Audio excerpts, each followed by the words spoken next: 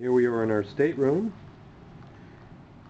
Nice big room with a big double bed, closets, you know, big old TV and everything. And nice bath. Nice vanity and tub and everything. And then out here, we have our little deck. Here's Mary Jean.